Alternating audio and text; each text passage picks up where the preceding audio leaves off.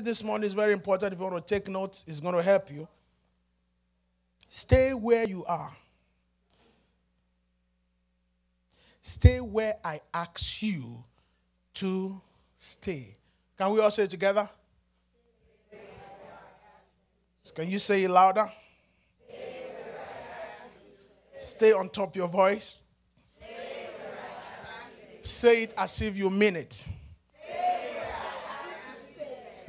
Stay where I ask you to stay. Many of us don't want to stay where God wants us to stay because we have our mind and we have our agenda. And we feel we can do it all. And we feel we can fix it and we can help ourselves. And when God tell you to stay somewhere, come on now. When God tell you to stay somewhere, it means it's taking you somewhere. You know, sometimes a delay is not a denial. God wants you to wait. And God wants to bring some people to meet you where He asks you to stay. God wants people to notice you where you stay. God wants to use the people to announce, announce you where you stay. So when God asks you to stay somewhere, it means He want to take you somewhere big. And I want to tell you, in the means of God telling you to stay, you're going to encounter obstacles. You're going to come again, you're going to come across discouragement. You're going to lose your minds too. People are going to laugh at you. You're going to lose some money too. You're going to look at yourself as if you're crazy. But God says, Stay where I ask you to stay because I want to use that place to announce you. Tell your neighbor again, Stay where I ask you to stay. Say it with boldness. Say, Stay where I ask you to stay. Now, this come to mind in the, book, uh, in the book of Ruth. When you read the book of Ruth, the Bible say Naomi, Naomi, Naomi got married. She lost her husband, and she has two sons, and her two sons died. And she have two daughter-in-law, Oprah and Ruth. And he called these young ladies together. I'm just giving the story, then you can understand where, where I'm going. And, and, he told these young, beautiful women, he said, You know what? I have lost my husband.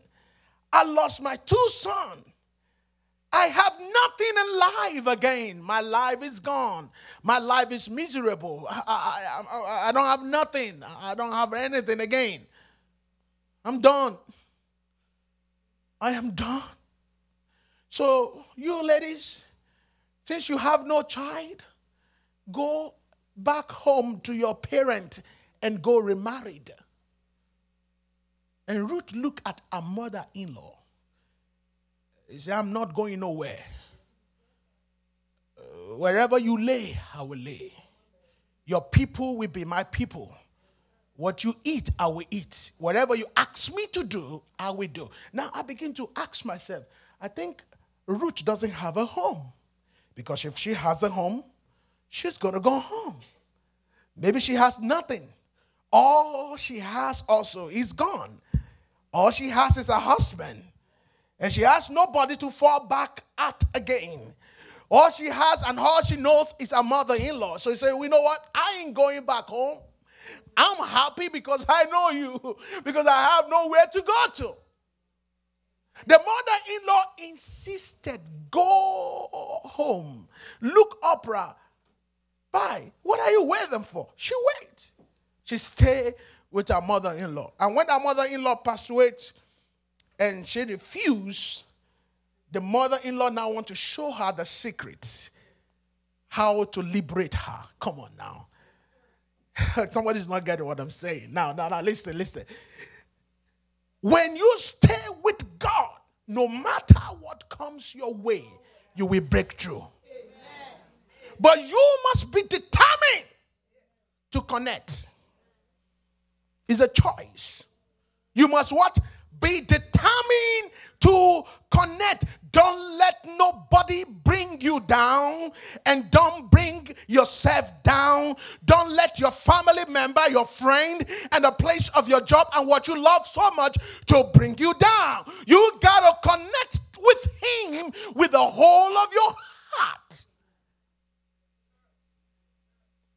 So the mother-in-law now want to show her secret.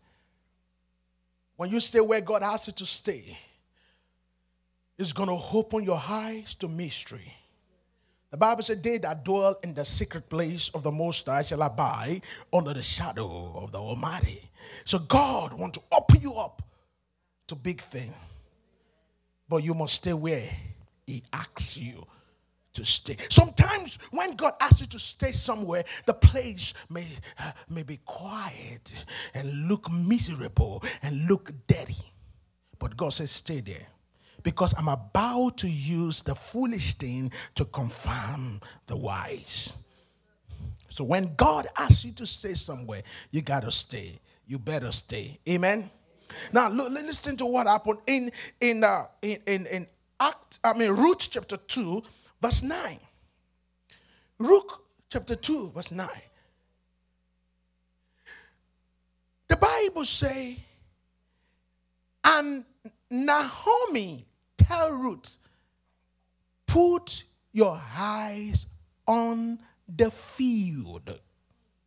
Meradushka, that's where I'm going. Put your eyes on the field. Can you all say together with me? Say louder. Now, listen to this.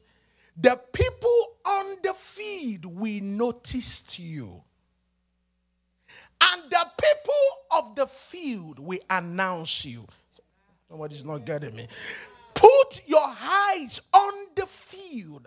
The people on the field, we noticed you.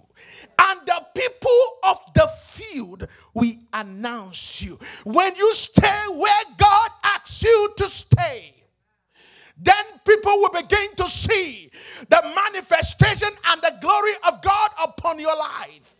You don't have to tell them who you are. The mother-in-law says, stay on the field. The people of the field, we noticed you. And the people of the field, we announce it. When you read further, I didn't put all the scripture. When you read further, because we don't have time, when you read further, the Bible says the people on the field begin to ask question, who is that girl? Who is that girl? Where does she come from? Who is that girl? They don't talk to her, but they gossip about her. You know, some people don't talk to you, but they know everything. About, everybody knows everything about you, huh? When you walk, they say, "Who is she?" Oh, look the way she dressed today. You can know they're talking about you, but none of them have ever come to you and tell you that they are talking about you. Uh, you know, very soon the message is going to get to the boss. And the name of the boss is Boaz.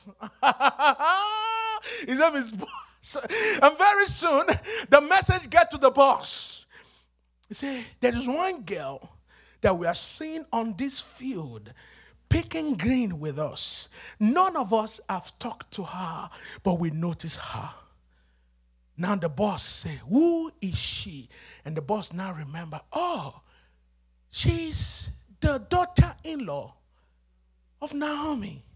She has done too good." Suddenly, she was announced. You know the end of the story? She became the wife of the boss. I say to you this morning, stay on the field. The field will notice you. The people will notice you. And the people will announce. No, no, look at it. She stay where the mother-in-law asks her to stay. Put your eyes on the field because something extraordinary is about to happen in your life. You can see it, but I can see it. The Bible says he know the hand before the beginning he end up marrying. He didn't introduce herself to the boss. The people saw her because she was where the mother in law told her to stay. Ooh, Things may look silent right now for you. Things may look empty for you right now. You may be confused in your life. You may be confused with your family. Your relationship may not be working. You may be saying, God, but I'm serving you. Why everything's silent? Keep holding on. Keep holding on. Come on. Keep holding on. Keep holding on. Come on. Don't give up. Don't let nobody bring you down. God has a promise for you and the promise of God concerning your life, your destiny we come to pass. Keep holding on. Stay on the field. The people on the field will notice you, and the people of the field we announce you. And very soon, the people that notice you and announce you, they will soon serve you. Somebody's not getting me. The same people that talk about you, that pass the message across for you, they become your newspaper and your Instagram and your Facebook and your Twitter. Amen, amen, amen. Very soon, very, very soon, there'll be the same people that will serve you a cup of tea. Somebody's not getting what I'm saying. There'll be the same people that will do what? Serve you a cup of tea.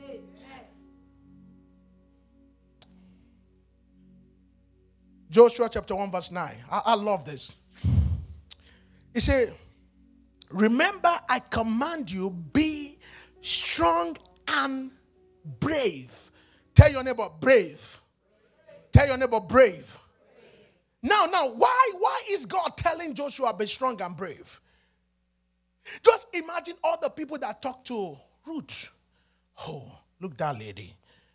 Look who, who she is. Who do you think you are? We, yeah, huh? hey, if you are not strong and you are not brave, the trauma of life will sweep you off your feet before you know it. You are not crazy, but you'll be thinking as if you're crazy. There is nothing wrong with you, but you are crying. And they say, Why are you crying? I don't know where I'm crying is that everything is falling apart for me. But the Bible says, I should tell you this morning be strong and be brave because I am the Lord your God. There is nothing that is impossible with me. If I said it, it will come to He said, Be brave, be strong. It means you're going to carry some heavy load that is bigger than you, things that you cannot lift, things that will make, oh, he said, Be brave. Things are going to fall apart. Be brave. People are going to spit at you. Be brave. People are going to bring you down. Be brave. You're going to lose things valuable to you. Be brave. People are going to reject you. Come on. Be brave. Say, be strong and be brave. I say, don't be afraid because the Lord your God is with. The Lord your God is with you. The Lord your God is with you. He that watches over me does not sleep nor slumber. The Lord your God is with you.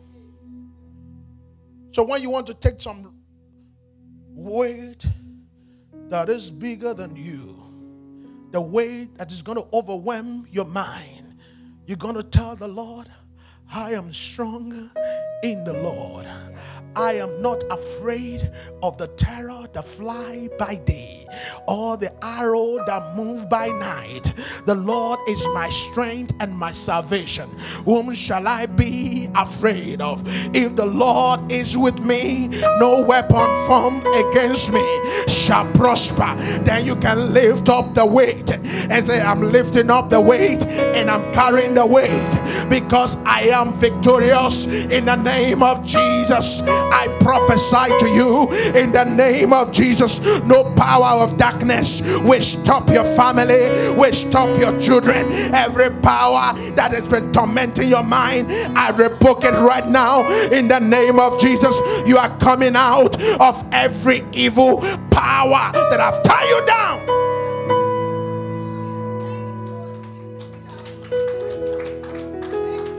Now, now, listen listen to this. Listen to this. Listen to this. There is something God wants to do. That is why all this discouragement is coming. God wants to do what money cannot buy. Because money can buy kidney. And money can buy love. Money can buy joy. Money can buy happiness. Money can buy you. What is money can buy you? Money can buy you a baby. Oh, I want to give to you what money can give to you. But you must stay where I ask you to stay. Is a command. Tell your neighbor, is a command. When when when the soldier go a battalion of soldier if you if you've been into military school before the commander the captain will say stay everybody got to stay. You, you must not move. If you move you're in trouble. When they say stay stay. When they say move you move. When the Lord says stay, you got to stay. And that is why he said in the book of Deuteronomy chapter 28, Deuteronomy 28, he said, if you fully obey the voice of the Lord, if you fully obey the commandment, if you fully obey the voice and the commandment, somebody is not getting what I'm saying. If you fully, so if he asks you to stay, Come on now. If you ask you to stay, it means he has something in mind for you. God cannot ask you to stay somewhere without having something in mind. You can go to Florida. If God asks you to stay in Massachusetts, you're coming back to Massachusetts. You can go to Houston, Texas. If the Lord asks you to stay in Massachusetts, you don't have a choice, you're coming back. Can even go to Japan and say, oh, Lord, I don't like New Bedford. I'm tired of New Bedford. There is nothing good in New Bedford. He said, I am moving up to Japan. And God said, There's nothing waiting for you in Japan. You got to go back to New Bedford. If God says stay, it means there is something good for you. Now he said, and if you fully obey the voice of the Lord and be careful to do all his commandment that he has commanded you today, the Lord God will set you above all nations of the earth. Tell your neighbor, I am not ordinary. I am extraordinary. That's why I'm going through what I'm going through. Because I am not normal. I am abnormal. If I am normal, if I am normal, people will treat me normal. But because I am abnormal, people treat me abnormal. Come on, clap your hands for Jesus.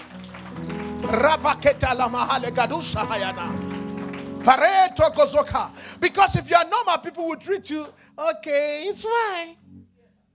Bye.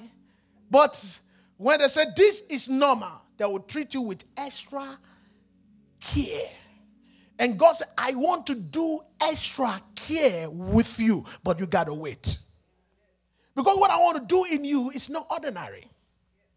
I have to take hold you off and put new you. I have to take something off you.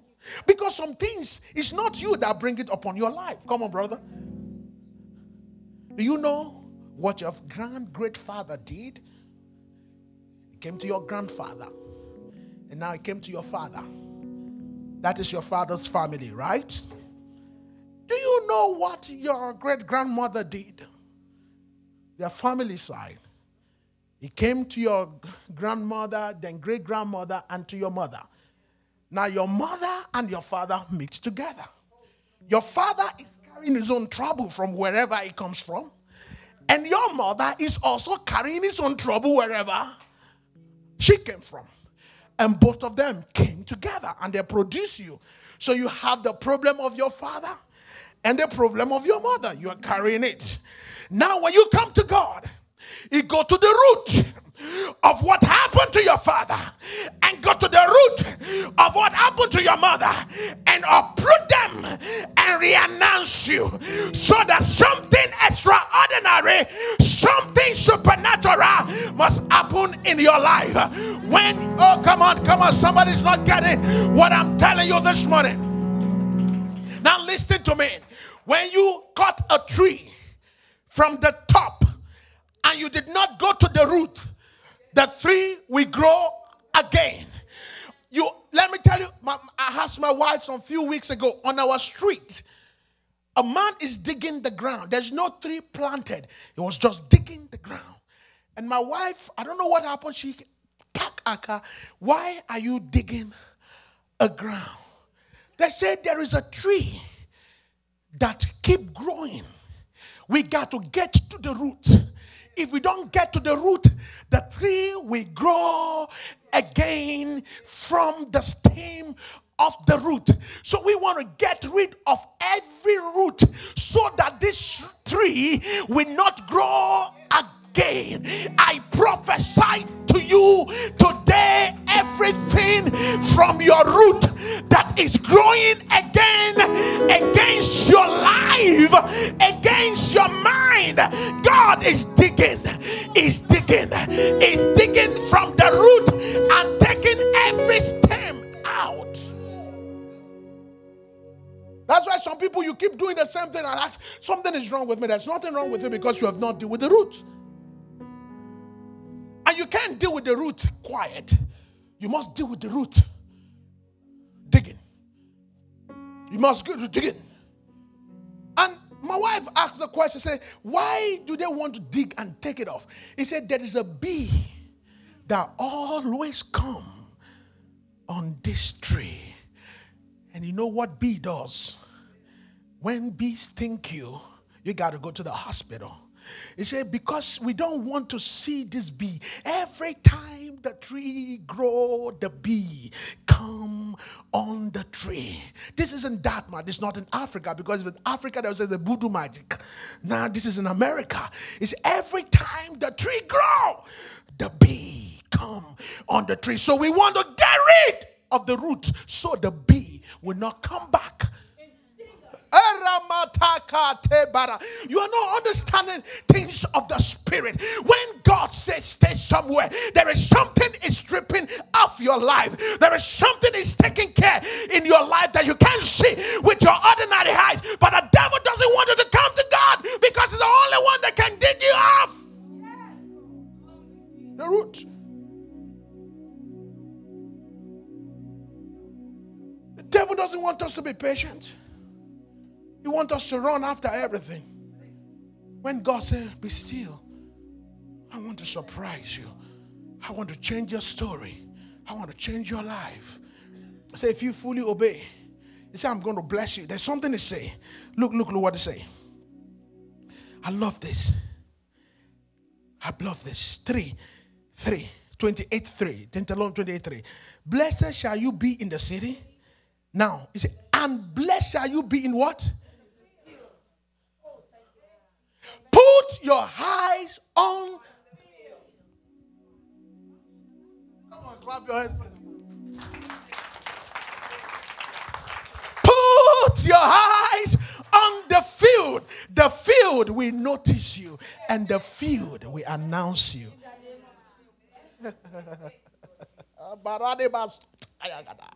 when God sends you somewhere and He has you to stay, it's because he want to bless you. Tell your neighbor because he want to bless you.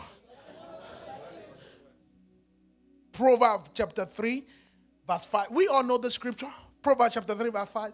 But there's something that struck my mind. Trust the Lord with all your heart. And I love this. Is and do not lean on your understanding. That's all. You do not do what? Lean on your because all your understanding will keep telling you you can fix it. Just get three jobs, you will pay the bill. Huh? Just get three jobs. You know what? You don't need anything. Get three jobs.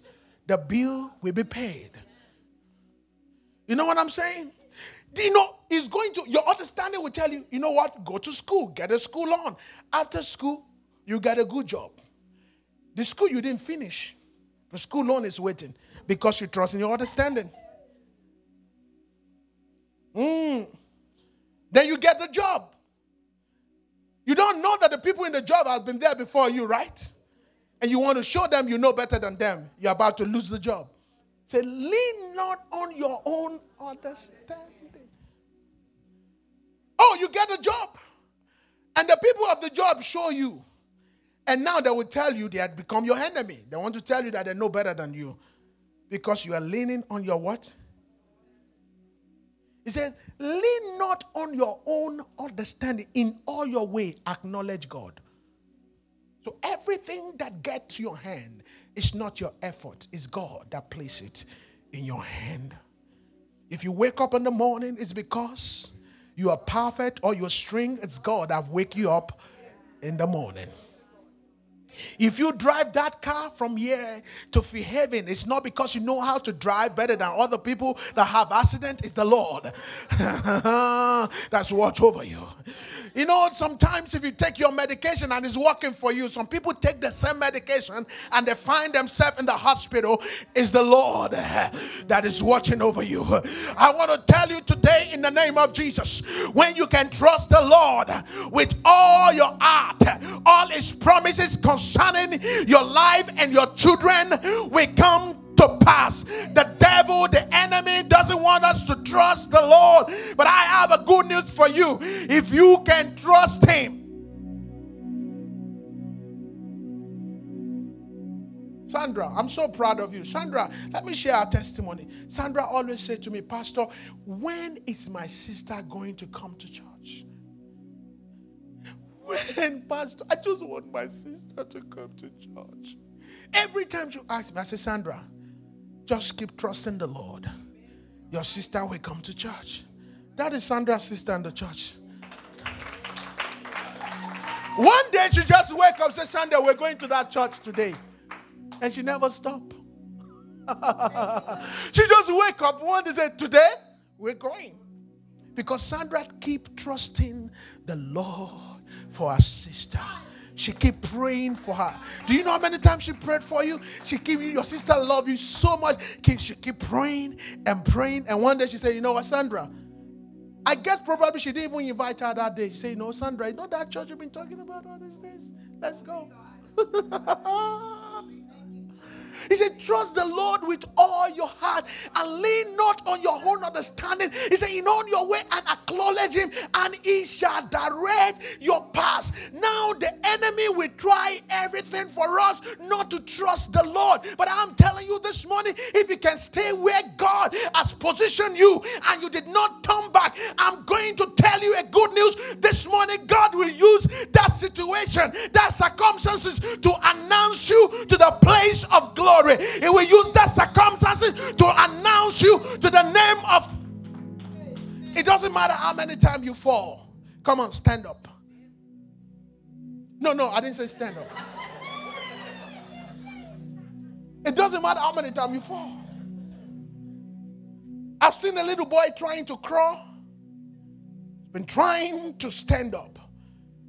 The moment they take one step and fall, they'll stand again.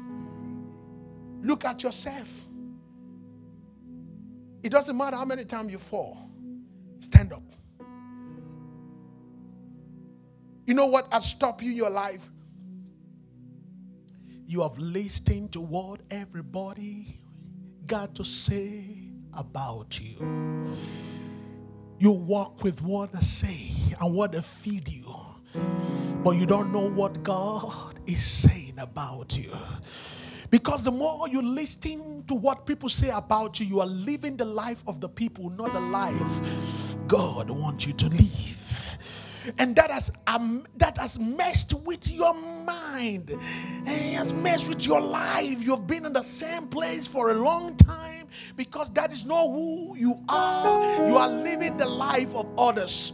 But I want to tell you today, this morning, God is taking that fear off your life. From now, you're going to be living the life that God has given to you from your mother's womb. Don't live the life of others, live the life of God for your life. I'm rounding up. My last scripture, Proverb of Philippians chapter 4, verse 6 to 7. Do not be anxious about anything, but in everything by prayer and supplication with thanksgiving, let your request be made known to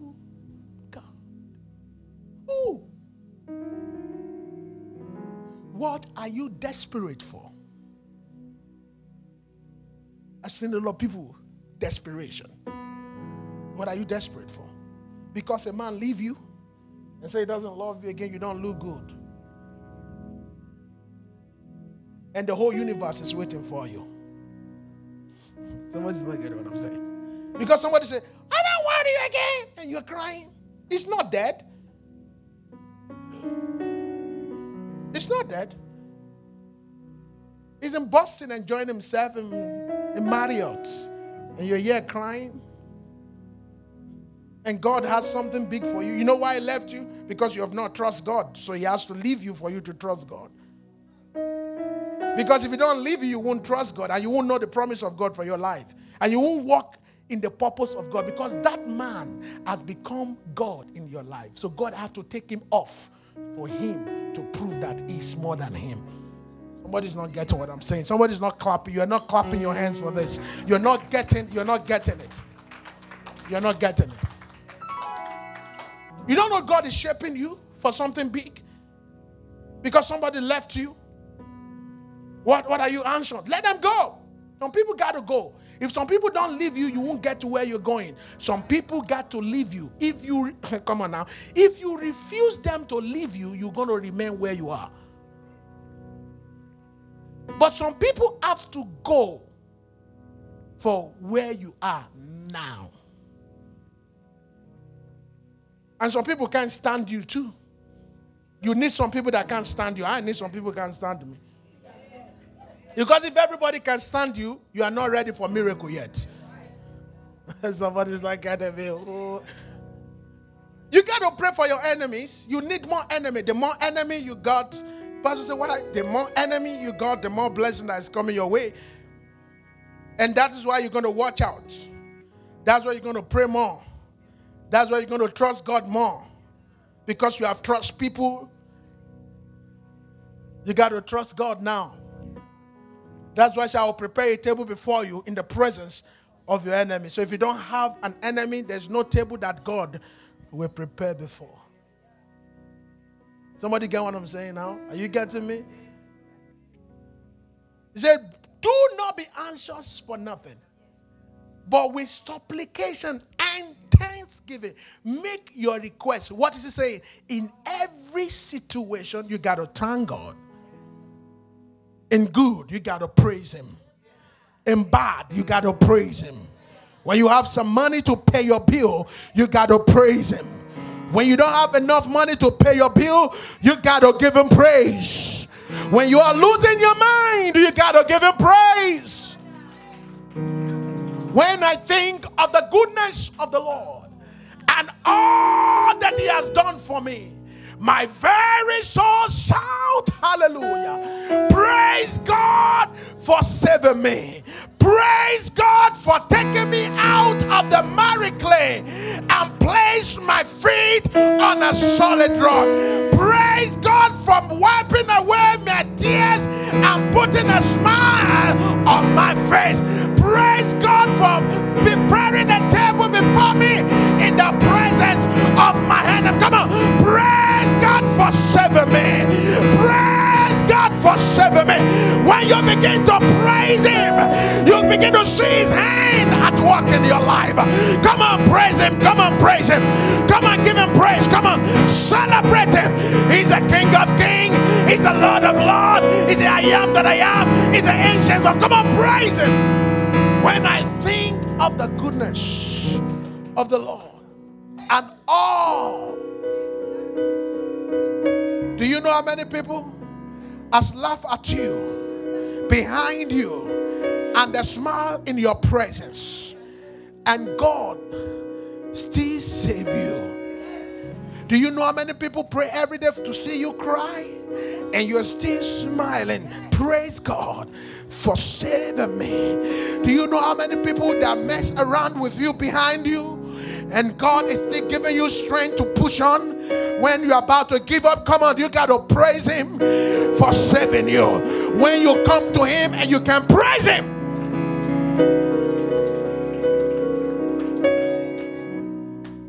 When I think of the goodness of the Lord and all that He has done for me, I'm going to praise Him. He said, When you come to Him, don't be anxious. Because before you ask, He has answered. He said, Knock, the door shall be open. He said, Can your son, my son can ask me for bread? My son, my little two years old, if he asks me for bread and I give him a stone, he will ask me, Daddy, do you want me to stone you?